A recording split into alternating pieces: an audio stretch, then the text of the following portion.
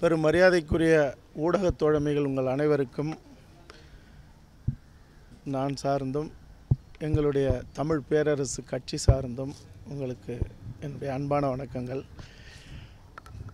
இன்றைக்கி ஐயா நீதியரசர் அவர்களை சந்தித்து ஏற்கனவே ஒரு முறை வாக்குமூலம் கொடுத்து முழுமையான வாக்குமூலத்தை நீங்கள் தரணும். உங்கள் வாக்குமூலம் மிக முக்கியமானதுன்னு சொல்லி அதன் அடிப்படையில் தான் இன்றைக்கி வந்து இந்த வாக்குமூலத்தை கொடுக்க நான் இங்கே சந்திக்க வந்தேன். அதாவது பல்லாயிரம் ஆண்டுகளாக எங்களுடைய தமிழினம் த தங்களுடைய வீரத்தை கூர்த்தீட்டுவதற்காக எங்கள் மாடுகளோடு நாங்கள் விளையாடுகிற ஏறுதழுவதுங்கிற அந்த ஜல்லிக்கட்டு விளையாட்டை ரொம்ப ஏளனமாக பேசி நீதிமன்றமே சுப்ரீம் கோர்ட்டை ஏளனமாக பேசி மாட்டோட விளையாடுகிற நீங்கள் சிங்கத்தோட விளையாட முடியுமான்னு கேட்ட கேள்வி தான் எங்களுடைய கலை கலாச்சாரம் சார்ந்த இந்த விளையாட்டுக்காக பிரெஞ்சு புரட்சிக்கு சமமான ஒரு பெரும் புரட்சி தை புரட்சி எங்கள் மண்ணில் நடந்தது.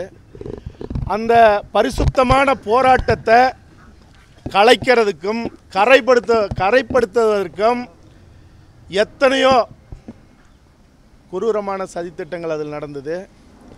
பல நடிகர்களை அதிகார வர்க்கங்கள் அதில் வந்து பயன்படுத்தி அது சீர்குலைக்க நினச்சி அது முடியாமல் போன நிலையில் கடைசி நாள் எங்களை வந்து அடித்து அவனியாபுரத்துலேயும் இந்த விளையாட்டை இராணுவமே வந்தாலும் நாங்கள் நடத்தி காட்டுவோம்னு சொல்லி தான் என்னுடைய தலைமையில் மாணவர்களோடு நான் போனது.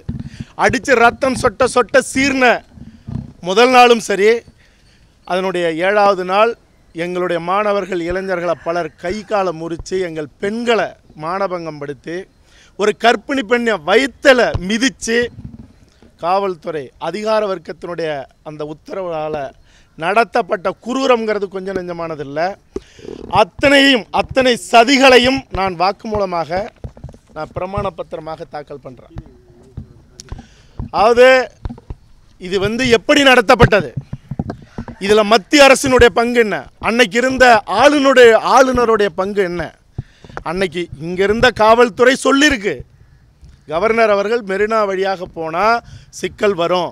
மவுண்ட் ரோடு வழியாக போங்க அப்படின்னு சொன்ன நிலையில் கூட இல்லை நாங்கள் மெரினா வழியாகத்தான் போவோம். இருபத்தி ஆறாம் தேதி குடியரசு தினம் வருது. நீங்கள் அடிப்பீங்களோ அப்புறப்படுத்துவீங்களோ நீங்கள் சிதைச்சி சின்னாபின்னமாக்கினாலும் சரி நாங்கள் அந்த வழியாகத்தான் போவோம்னு சொல்லி தான் எங்களுடைய இனத்தின் இளைய தலைமுறையை சிதைச்சி அந்த போராட்டத்தை முடிக்க வேண்டிய நிலை. அதன் பிறகும் நாங்கள் கடற்கரையில் நின்று சட்டமன்றத்தில் மாடத்தை ஒதுக்குறோம். நீங்கள் வந்து சட்டம் இயற்றதை பாருங்கன்னு சொல்லி வேறு வழி இல்லாமல் தான் எங்களை அழைச்சி ஐந்து மாணவர்களோடு நாங்கள் போய் சட்டமன்றத்தில் மாடத்தில் உட்காந்து பார்த்து அது சட்டம்னு தெரிஞ்சதுக்கு பிறகு நாங்கள் வீண் விதண்டாவதம் பண்ணாத அந்த போராட்டத்தை ஒரு முடிவு கொண்டு வந்தோம் உலகத்துக்கு அறிவித்தோம் அப்போ கூட நாங்கள் சொன்னது என்ன? இனிமே எங்கள் இனத்தில் எங்கள்கிட்ட வாழாட்டினா நாங்கள் வளர்க்குற மாடாக மட்டும்தான் இருக்க முடியும். வேற எவன் வாழாட்டினாலும் இழுத்து வச்சு ஒட்ட நறுக்கும்னு கோட்டையில் சொல்லி தான் பிரகடனப்படுத்தினோம் போராட்டத்தை நிறுத்திக்கிறோன்னு ஆனால் மீண்டும் நாங்கள் ஜல்லிக்கட்டு மட்டுமில்லை எங்கள் இனத்தின் உரிமை பறிக்கப்பட்டால் நாங்கள் எரிமலையாக எழுந்து நின்று போராடுவோன்னு சொன்னோம். அந்த நிலை இன்னும் முடியல. க- இன்னைக்கு புதிய கல்விக் கொள்கைங்கிற மூலமாக ஹைட்ரோ கார்பன் மீத்தேன்கிற மூலமாக நீட்டுங்கிற அந்த யமன் மூலமாக ஸ்டெர்லைட்டுங்கிற சாகர்மாலாங்கிற எங்கள் மண்ணையும் எங்கள் மக்களையும் அழிக்கிறதுன்னு அத்துமீறல் மூலமாக தொடர்ந்து இது எங்கள் மண்ணில் அந்த விதிமீறல் அந்த நீதி மீறல் அந்த அறமீறல்கள் நடந்துக்கிட்டே இருக்குது. அதனால் எங் நாங்கள் யாருக்கும் எதிரில்லை. எங்களுக்கும் யாரும் எதிரில்லை. எங்கள் மண்ணையோ இனத்தையோ சிதைக்கணும்னு நினச்சா ஐம்பதனாயிரம் ஆண்டுகள் வரலாறு கொண்ட இனம் நாங்கள் ஓடிலாம் இனிமேல் பதுங்க மாட்டோம். நாங்கள் உயிர் வழியோட நினச்சி பார்க்க முடியாத பெரும் வழியோட நாங்கள் நின்று போராடுறோம் அல்லது அமைதி காத்துக்கிட்டு இருக்கோம். நீங்கள் மீண்டும் மீண்டும் எங்களை சீண்டுனா நீங்கள் ஆள்கிற ஆட்சியாளர்கள் வேணால் தங்களை காப்பாற்றிக்க தங்களுடைய பதவியை பணத்தை காப்பாற்றிக்க உங்கள்கிட்ட அடி பண்ணிடலாம். தமிழ் இனம் தமிழ் இனத்தின் இளைய தலைமுறை ஒருபோதும் அடங்காது. அதனால் இருக்கிற இந்த வெற்றி பெற்ற கட்சிகள் கூட இன்றைக்கி என்ன ஏன்னு ஒரு சட்டம். அந்த சட்டத்தை நீங்கள் எதிர்த்தீங்களா? எதுக்கு வெளிநடப்பு செஞ்சீங்க? ஏன் அமைதியாக இருந்தீங்க? முத்தலாக்குங்கிறத.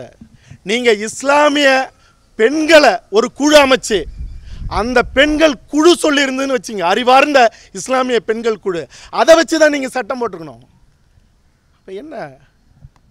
எல்லாமே இங்கே நிலை மாறி நடந்துகிட்ருக்கு இதுக்கெல்லாம் தமிழ் இனத்தில் நாங்கள் ஓட்டு போட்டு கோட்டைக்கு அனுப்புனவங்களோ நாங்கள் ஓட்டு போட்டு பாராளுமன்றத்துக்கு அனுப்புனவர்களோ எங்கள் தமிழ் இனத்தினுடைய இளைய தலைமுறை தலையெடுத்துருங்கிறதுக்காக திராவிடம் சுமந்தவர்கள் ஆரியம் சுமந்தவர்கள் இந்தியம் சுமந்தவர்கள் எங்களை பழி வாங்கணும்னு நினச்சா நாங்கள் வேடிக்கை பார்க்க மாட்டோம். ஆக சமரசமில்லாத ஒரு வாக்குமூலத்தை மரியாதைக்குரிய நீதியரசர் ராஜேஸ்வரன் ஐயாவுக்கிட்ட நாங்கள் ஒப்படைக்கிறோம். இப்ப- குற்றம் சாட்டினது இந்திய அதிகார வர்க்கம் தமிழ்நாடு அரசு தமிழ்நாட்டை ஆள்பவர்கள் நடிகர்களாக உள்ள வந்து அந்த போராட்டத்தை சிதைக்க நினைச்ச லாரன்ஸ் அவர்கள் ஹிப்ஹாப் ஆதி அவர்கள் பாலாஜி அவர்கள் உட்பட யாரெல்லாம் என்னென்ன சதித்திட்டம் செஞ்சார்களோ அல்லது அவர்களுக்காக வந்து நின்னாங்களோ நீங்கள் வாங்க. யாராக இருந்தாலும் நடிகர்களாக இருந்தாலும் யாராக இருந்தாலும் வந்து ஒரு இன்றைக்கி கூட சூர்யா புதிய கல்விக் கொள்கையை கொள்கைக்காக பேசுனதை மனமும் வந்து வரவேற்கிறோம். ஆனால் நீங்கள் இந்த மண்ணுக்காக வாங்க. ஏன் நிறமாறி வரணும்? ஏன் ஒரு ஒரு சொல்ல முடியாத துயரத்தோட உரிமை வேண்டி நிற்கிற எங்கள் இளைய தலைமுறைகிட்ட எதுக்கு வந்து நடிக்கணும்?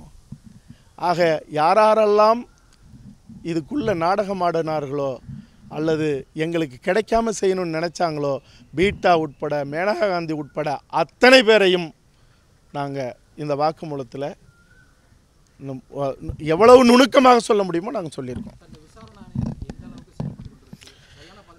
அதாவது நான் வந்து சந்தித்த வரைக்கும் நீதியரசர் ராஜேஸ்வரன் ஐயா அவர்கள் ஒரு மனிதநேயம் கொண்ட மனிதராக இருக்கார்.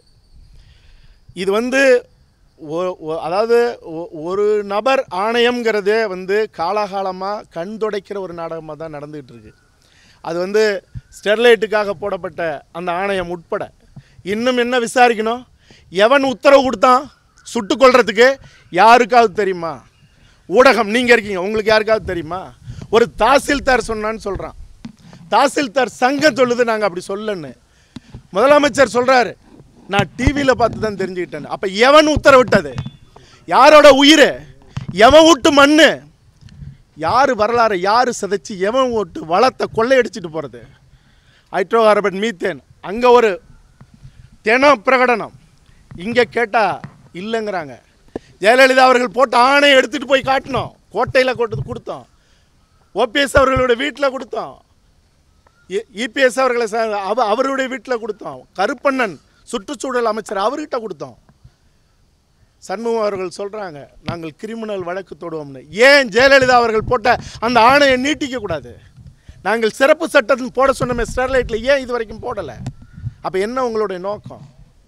எங்கள் மண்ணை கொள்ளையடித்தா நாங்கள் திரும்பவும் சொல்கிறோம் ஜல்லிக்கட்டில் கத்திப்பாராவில் நின்று சொன்ன அதே சொல்ல சொல்கிறோம் இந்தியாங்கிற இந்த நாடு இது ஒரு தேசம் அல்ல இது ஒரு யூனியன்.